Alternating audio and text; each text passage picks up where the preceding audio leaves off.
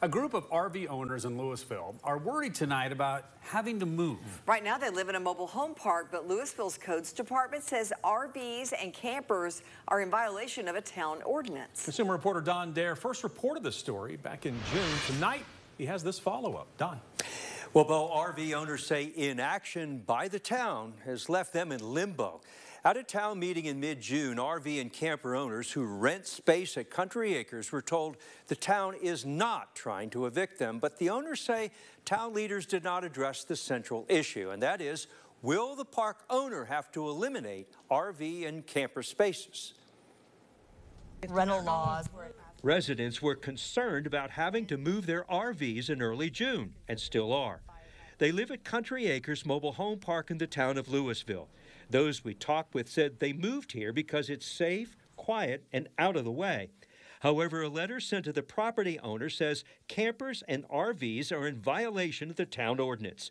The park was approved for mobile homes, it says. However, RVs and campers are not allowed. All of our campers are kind of living in limbo here. You know, we've lost a few that went ahead and moved because they were afraid of being evicted overnight. Luann Hackney is property manager at Country Acres. She lives there too. She was one of a dozen residents who attended a meeting at Town Hall in late June. They were told the town is not evicting them, it's the code violations the town's concerned about. There's still some here and they don't know where to go at this present time. Ken Mack owns Country Acres Mobile Home Park.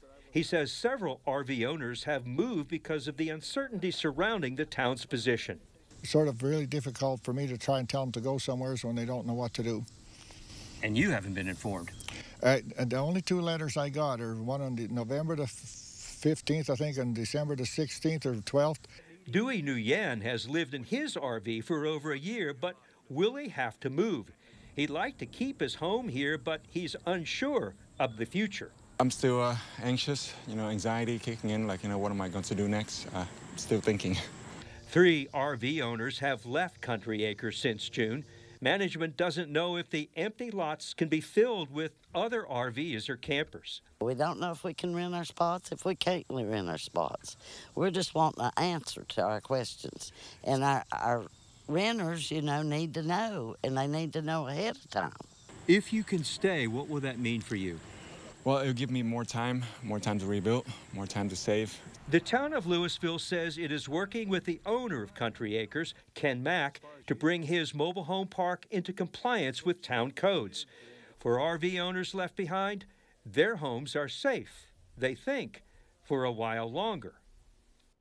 Now, what upsets the owner of the park, Ken Mack, is that another mobile home park in Louisville has been given several years to remove RVs and campers on its property.